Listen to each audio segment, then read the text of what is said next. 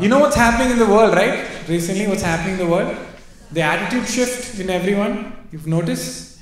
Well, everybody wants to change the world. Every single person right now is like, I will change the world. How?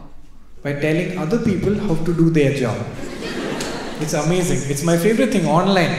Someone crashes into a car, someone takes photo. Mumbai police, do your job. I changed the world. Yeah, because Mumbai police has a social media team, no? Oh, Prakash, come on, let's go. Like they don't have shit to do. So recently I took a flight on Jet Airways. so you know how recent this is. Uh, yes. Let's clap for bankruptcy. So I reached the airport and uh, everyone's like fighting. I was like, what's going on? What happened was Jet Airways had combined two flights into one and thought no one would notice. and 300 people are pissed off. Like, how can my ticket get cancelled? How can my ticket get cancelled? They're like, sir, it's your fault, really.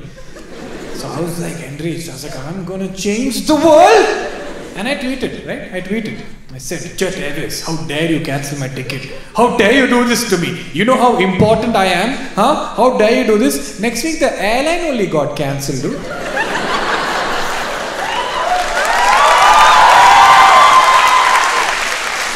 And I felt so guilty, like, is this my fault? This is the first time I ever complained about something, the whole airline got cancelled. So I freaked out. I started doing research. I'm like, what happened to Jet Airways? Is it me? Did I do something? Kenny Sebastian tweeted, boom, stocks fell. I said, oh. But it turns out it was mismanagement, okay? Classic. Classic. Someone internally was just siphoning out funds for shit. The company got bankrupt. And then I did more research, and Indigo is doing incredibly well, okay? Indigo is so happy. I said, I said, why did Indigo succeed and Jet Airways fail? And I figured it out. Jet Airways made the mistake of giving us comfort. yeah, you go to a Jet Airways flight and they're like, you want blanket? yeah. You really gave me blanket? Give full flight, full flight, keep it and enjoy!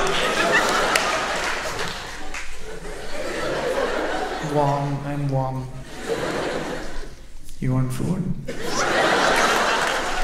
Food. ah.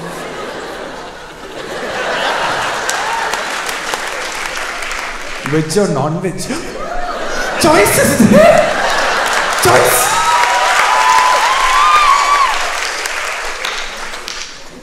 Veg. And while you leave the flight, they're like, Kenny, yeah? Bye. You, Jet And then the company became bankrupt. Indigo. I'm not making this up. Indigo. I sat in the flight and I asked the air hostess, Can I have a blanket? And she said, We don't have blankets early. Which is a great way to end an argument. Waiter, we've been waiting for 20 minutes. Can you give me water? There's no water in the whole continent. What will you do? It's crazy. So I was like, but I'm feeling cold. I want blanket. She's like, sir, we don't have blanket in the whole flight. I was like, but then what do I do if I'm feeling cold? Like, sir, we'll switch off the AC then. I was like, wow. Do you know my dad? Because this is exactly what he does. Yeah. Indigo is my childhood, basically. I'm like, no, don't off the AC. Okay, you know what? I just want to eat something. I need something. 500 bucks. That's so expensive. Yeah, eating out is expensive. Don't eat from outside. Get your own dabba and come. And you don't mess with air hostess in general. It's my request because it's a very hard job. The, the airline industry is full of very hard jobs that look simple to us, right? To become an air hostess or a male, whatever, air host. No one cares about them. You see like a male guy like, hey, what are you doing here? Go home. Nobody cares. They have been trained in emergency situations where like if the plane crashes and if there's a fire, they have to like keep people calm. That's the level of sophistication and like training they have to go through. But all the year, everybody, sir, we don't have Maggi. Sir, we don't have Maggi. What can I do? Sir, please sit down when the seatbelt sign is on. That's all they do. I feel so bad. They say it a billion times. Don't get up when the seatbelt sign is on. Correctly, when the plane lands, one guy's like, la la la, la la. Everyone just is jumping up. If you give her a sniper rifle, no, she'll take out everyone. The airport system in India is designed to make sure you don't get on your flight. to make sure. That's the sole purpose. They want you to go back home. You enter an airport, they'll be like, hello, where are you going? Sir, I, I have a flight. You have a flight? Sure ticket? What? Why would I come here? I didn't have a ticket. It's my ticket.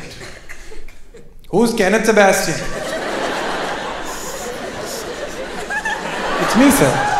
It's me. I wouldn't fly behalf of my grandfather. No? It's me. Show ID? Now he's looking at the ID. So now you have to look like yourself.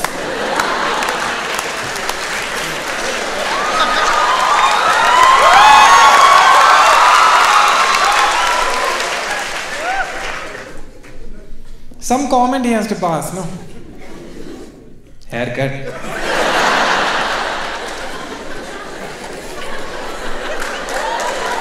Yes, sir. Yes, sir. In the four years since I took this photo, I took haircuts. And then you enter, and this is the worst part where you have to scan your bag through the x ray machine. And the people working here are the slowest creatures I have seen. And I don't blame them. It's a very boring ass job because nobody has done a thousand push ups, gone through mud trenches, climbed ropes to just tap people on their armpits gently.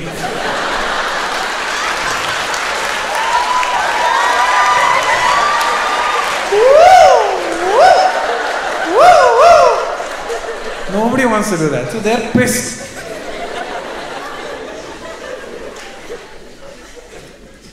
If you want to see how slow time can go, get your bag, separate it from other bags. That's it.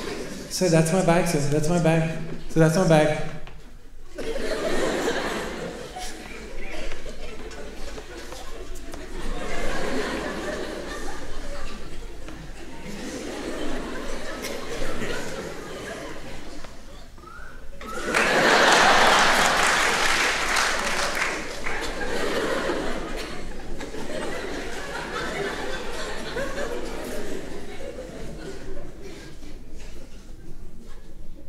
Open.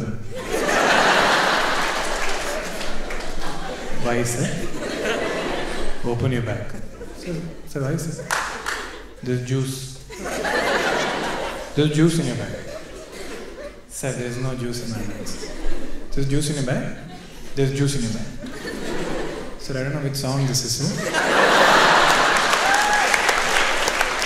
Good luck for your career. Uh, but there is no juice in my bag, sir. No, your juice in the bag, otherwise it won't get stopped. Sir, I remember how I packed my bag, sir. Underwear, t-shirt, juice, I didn't do that. I didn't. Nobody does that, sir. Open your bag, there's juice in your bag. And I opened the bag and there was juice in my bag. I don't know how it happened. There was juice in my bag. I don't know. The worst part is, you know, on the flight, when at the end of the flight you leave and the pilot comes out and says, Thank you for flying. Have a good day. You know, I spoke to some pilots and they said they don't have to do that. They do it because they love flying and they want to see the passengers and want to thank them. And apparently, passengers give them feedback on the flying. The arrogance to give feedback to a pilot. And this is how we give feedback to pilot. Usually, like, hey pilot, I know you're a pilot. I know what you're doing. I'm sure. Obviously, you've been trained. it's your job, actually. I just want to give feedback. Very simple feedback. Don't feel bad. Huh? I'm a passenger. Yeah. I just felt it was a little rough. So I don't think you know. I'm sure your goal is to give smooth landing. No, of course. so anyway, bye. Have a good life. That's how you're supposed to give feedback. If you want to give. This is how pilots get feedback about landing.